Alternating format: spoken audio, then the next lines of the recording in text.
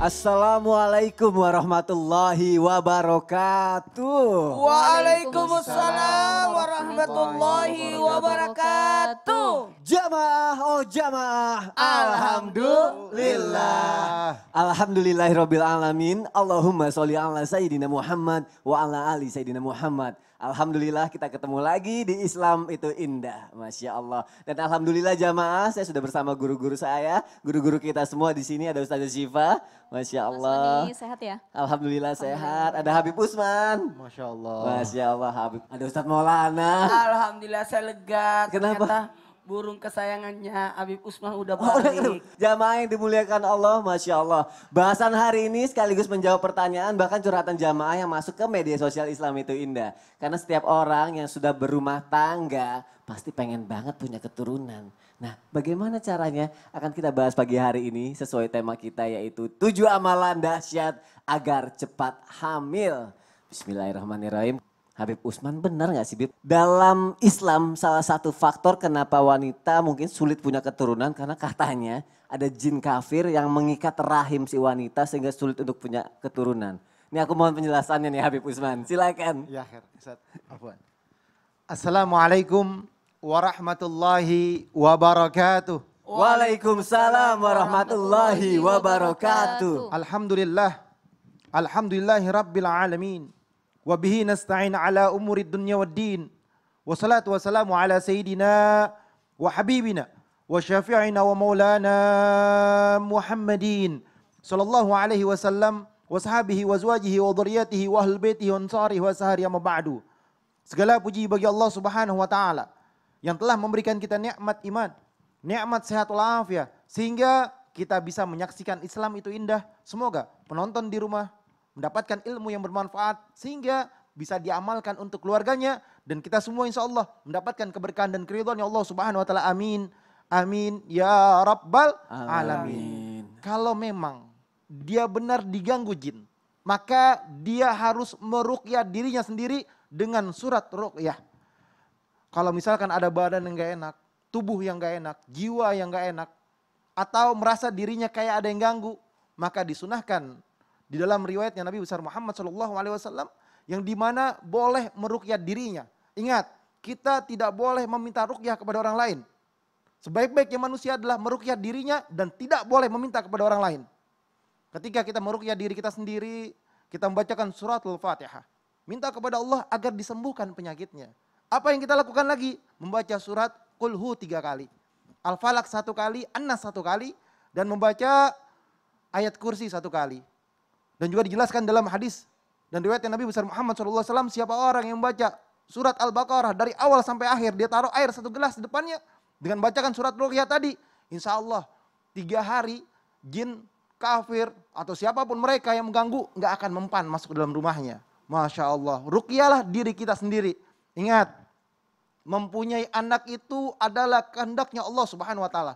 Allah yang berkehendak, bukan manusia. Allah Subhanahu wa taala berfirman di dalam Al-Qur'an surat Asy-Syu'ara, Asy-Syu'ara ayat 49 50, "Lillahi mulkus samawati wal ard, yakhluqu may yasha'u, yahabu liman yasha'u inasan wa yahabu liman yasha'u dzakura." Jelas. Langit dan bumi ini adalah miliknya Allah Subhanahu wa taala. Kita adalah makhluk Allah, kita kecil, tidak mempunyai daya dan upaya dan kekuatan kecuali dengan kehendaknya Allah Subhanahu wa taala. Allah yang menciptakan, Allah yang berkehendak sesuai dengan kehendaknya. Kudrat dan iradat adalah milik Allah Subhanahu wa taala. Allah lah yang memberikan anak yang Allah kehendaki dengan kehendaknya. Siapa pun mereka. Dan Allah Subhanahu wa taala yang memberikan anak laki-laki ataupun anak perempu, perempuan. Yang di mana kalau misalkan Allah berkehendak tidak ada satupun manusia yang bisa melarangnya. Kalau dia dijadikan mandul, kalau dia dikehendaki nggak mempunyai keturunan, berdoa terus sama Allah, minta sama Allah, dekatkan diri kepada Allah Subhanahu wa taala agar Allah berikan keturu, keturunan. Manusia yang baik, manusia yang mengerti dan memahami bahwasanya Allah Subhanahu wa taala sebagai Tuhannya. Kita sebagai hamba wajib bagi kita selalu meminta kepada Allah. Lihatlah Nabi Zakaria yang bermunajat kepada Allah, yang selalu meminta kepada Allah, akhirnya Allah Subhanahu wa taala mengabulkan doanya. Oleh karena itu, siapa pun kita, di mana pun kita berada, kalau kita diganggu oleh manusia ataupun jin, berdoa meminta kepada Allah, dengan sebaik-baiknya. Karena yang mau nolong kita siapa lagi kalau bukan Allah? Wasta'inu bisabri wasalah wa innaha lakabiratun. Manusia yang pintar adalah selalu minta pertolongan kepada Allah. Dengan ibadahnya, dengan salatnya, dengan sabarnya ketika dikasih ujian ataupun cobaan ini. Sabar kepada Allah.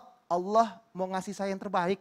Allah mau memberikan saya yang terbaik. Mungkin bukan hari ini, bulan ini ataupun tahun ini. Tapi insya Allah saya yakin Allah subhanahu wa ta'ala akan memberikan saya keturunan dengan saya berminta dan selalu meminta kepada Allah subhanahu wa ta'ala. Amin.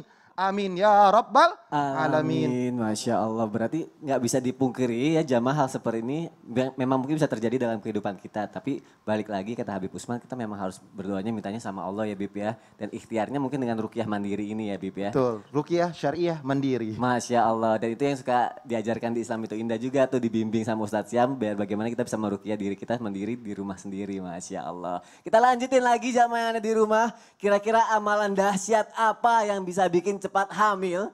Kita tanya sama Ustadz Maulana yang anaknya ada empat. Iya, rencana kan delapan. Oh, rencananya delapan ya. Harus nyari dulu berarti. Enggak aman, kan empat pasti punya menantu. Oh, Masya Allah jadi anak-anaknya sendiri. Uh, itu jawaban aman Ustadz Siva. Jawaban aman itu. Ustadz Maulana nih. Mertua saya nonton. Oh iya, Masya Allah.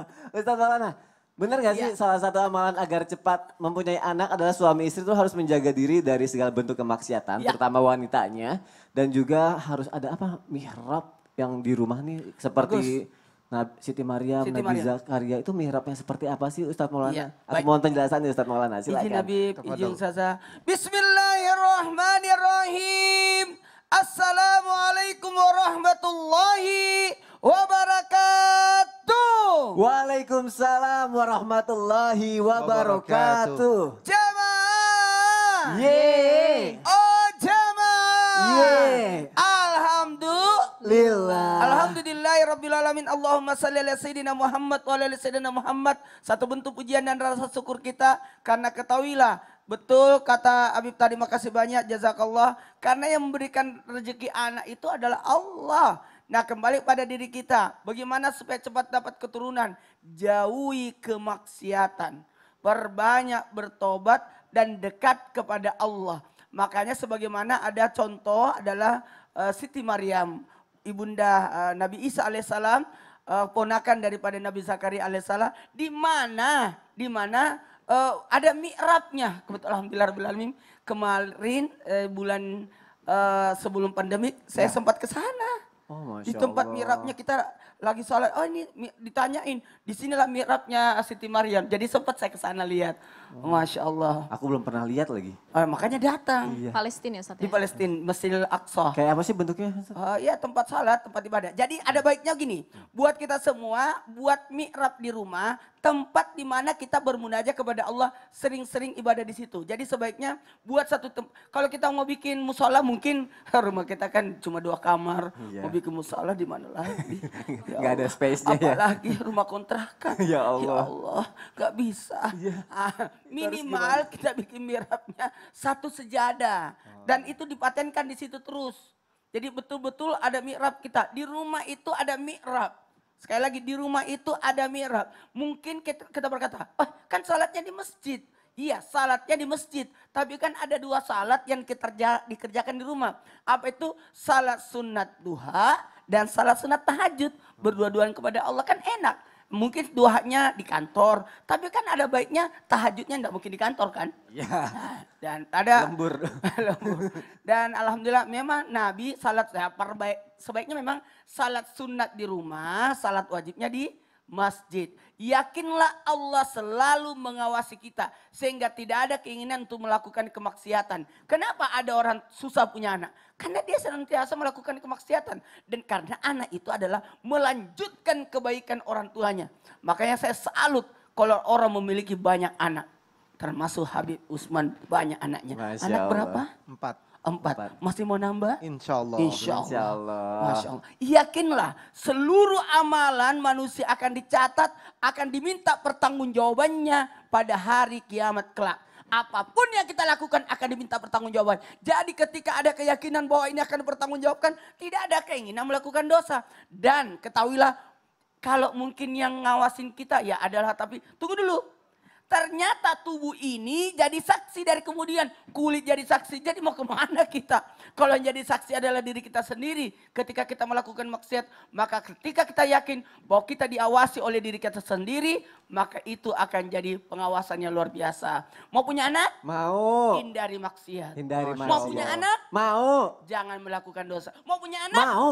Perbanyak tobat. Masya Mau Allah. punya anak? Mau. Persiapkan bahwa aku siap untuk mendekatkan diri kepada Allah. Masya Allah. Masya Buat Allah. mihrab minimal satu sejadah deh. Itu bisa jadi tempat misalnya eh, suami istri sholat tahajud bareng, doa bareng, dekat sama Iya. Allahnya bareng. Jadi keharmonisannya juga bertambah karena dekat Setelah sama salat Allah ya Ustaz ya. tahajud barulah. Mas, apa tuh? Enggak lanjutin aja. ya. Lanjutin ya, lanjut sholat subuh maksudnya Iya, ya. maksudnya ya. Masya Allah, jazakallah khair Ustaz Maulana, Masya Allah. Jamaah yang ada di rumah kita lanjutin lagi, temanya bagus banget kan amalan-amalan apa nih yang dahsyat yang bisa bikin cepat hamil. Jangan sampai nggak nonton sayang banget. Nah aku punya tayangan lagi jamaah, ini mengenai sebuah testimoni mengamalkan sholawat akhirnya hamil. Masya Allah, kita lihat tayangannya ya jamaah, silakan. Kemudian cara yang ketiga dari eh, segi spiritual itu jangan lupa bersolawat. Jadi setelah sholat, setelah aku baca doa yang tadi ada di notes aku itu, aku biasanya eh, solawat sebanyak-banyaknya. Kan udah banyak banget ya kayak orang-orang yang buktiin the power of solawat gitu kan. Dan udah beberapa hajat aku juga yang alhamdulillah tercapai karena aku mengamalkan solawat gitu kan. Jadi emang harus ada keyakinan gitu loh dari diri kitanya. Pokoknya setelah sholat jangan lupa solawat atau bahkan kalau misalkan lagi eh, apa ya kayak misalnya lagi ada waktu luang atau apa itu kalian sholawat aja sambil kayak meyakini dalam hati sambil minta gitu kan supaya diberikan keturunan. Kali ini Ustazah Syifa aku mau nanya. Benarkah Ustazah Syifa sholawat bisa membuat kita punya cepat keturunan? Dan kalau memang iya, itu kayak ada bacaan khususnya nggak sih harus berapa kali kah jumlahnya atau di waktu yang tepat seperti apakah? Nah Iya. aku mohon penjelasan Ustazah Syifa. Izin saya eh, Habib. Ya, Ustaz silakan Ustazah. Bismillahirrahmanirrahim. Assalamualaikum warahmatullahi taala wabarakatuh. Waalaikumsalam warahmatullahi wabarakatuh. Alhamdulillah, hamdan wa syukron lillah, amma ba'd. Eh, para guru saya, jamaah di rumah Islam itu indah yang dirahmati oleh Allah subhanahu wa ta'ala. Berbicara tentang mendapatkan keturunan. Siapa sih manusia yang nggak pengen punya keturunan? Kita ngelihat anak kecil lucu, pengen. Baru nikah sebulan dua bulan, yang nikah barengan kita sudah punya anak terlebih dahulu, pasti sebagai istri ngambek sama suami. Mas, kok kita belum punya anak sih? Ayo dong usahanya lebih keras lagi. Suaminya disalah-salahin. Nanti suaminya ditanya di kantor, kok kamu belum punya anak, yang lain sudah punya anak, dia menyalahkan istrinya. Ayo dong, kamu gimana sih rahim kamu, dan lain sebagainya. Nah ini, ini ter- terkadang malah menjadi perdebatan di antara suami istri. Memang manusia ini fitrahnya suka kepada anak-anak. Dalam surah Al-Imran dijelaskan zuyina linnas hubus syahwati minan nisa wal banin wal qanatiril muqantarati minadh dhahabi wal fiddati wal khailil musawwamati wal an'am ila akhir ayat. Jadi salah satu yang dicintai atau disuka oleh manusia itu adalah anak-anak. Adakah amalan khusus atau amalan tertentu yang bisa menjadikan kita mudah mendapatkan keturunan? Tadi dijelaskan dalam fiti salah satunya solawat. Benarkah solawat bisa menjadi wasilah? Jadi bukan karena solawat kita punya keturunan, tapi wa- solawat itu menjadi wasilah. Kita untuk mendekatkan diri kepada Allah, meminta kepada Allah, karena keberkahan solawat itulah Allah kasih keturunan kepada kita. Kapan solawat dilaksanakan, dibaca? Setiap waktu. Karena kita cinta sama Rasul, nih di sini ada zuriyah kita, Masya Allah, zuriyah Nabi. Kita cinta sama Rasul, setiap abis sholat kita solawat. Mohon maaf, mau mendekati istri pun kita solawat dulu. Mandang wajah istri kita solawat ya.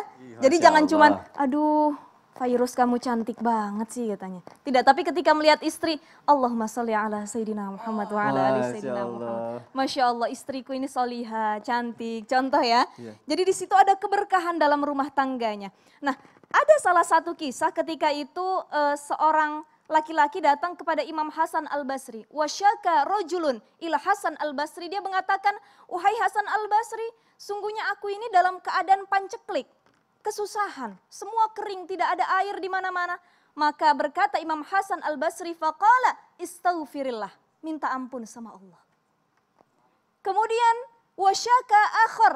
Datang yang lain, rajulun akhar ila Hasan al-Basri. Faqala Ini yang datang fukoro yang kedua, orang fakir, orang miskin. Maka Imam Hasan Al-Basri pun mengatakan, istaghfirillah, minta ampunlah kepada Allah. Setelah pergi yang kedua, datang yang ketiga. Dia mengatakan, ada mulwalat, saya ini nggak punya anak, wahai Hasan Al-Basri, apa yang harus saya lakukan? Maka fakal berkata Imam Hasan Al-Basri, istaghfirillah, minta ampunlah kepada Allah. Ternyata solawat dan istighfar itu bisa menjadi wasilah kita untuk mendapatkan keturunan. Bahkan dalam surat Nuh ayat 10 sampai 12 dijelaskan, "Fakultu astaghfiru rabbakum innahu kana ghaffara yursilis sama 'alaikum midrara wa yumdidukum bi amwali wa banina wa yaj'al lakum jannati wa yaj'al lakum anhara." Jadi kalau pengen punya keturunan amalkan itu. Yang pertama istighfar, yang kedua sedekah. Dan yang ketiga, solawat memperbanyak kepada Allah Subhanahu wa Ta'ala. Dengan cara istighfar ini, kenapa harus kita lakukan agar mendapat keturunan? Bisa jadi dulu sebelum kita nikah atau sebelum kita hamil, ada hati yang pernah tersakiti. Mungkin kita pernah yang namanya nyakitin hati orang tua. Ada tetangga kita lagi hamil, kita katain. Ada saudara kita yang belum punya anak, posisinya kita masih single, kita katain kok belum punya anak juga sih, udah lama nikah. Oh, nah itu nyinyir nyinyir ya. dalam hati ya. Nah itu salah satu dosa yang ternyata menjadi penghambat kita untuk memiliki keturunan. Oleh karenanya istighfar, Istighfar, sedekah, dan sedekah, perbanyak solawat. dan Insya Allah solawat. dipermudah mendapat keturunan. Amin ya Allah, amin.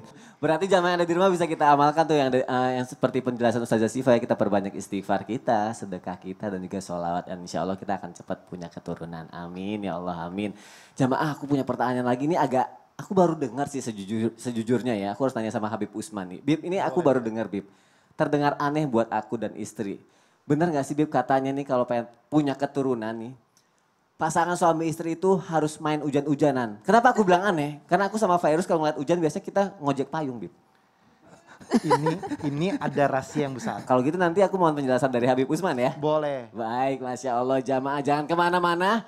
Mandi hujan insya Allah bisa punya keturunan. Ada adabnya kata Habib Usman. Seperti apa? Jangan ke mana-mana tetap di Islam itu indah. Jamaah, oh jamaah, Alhamdulillah.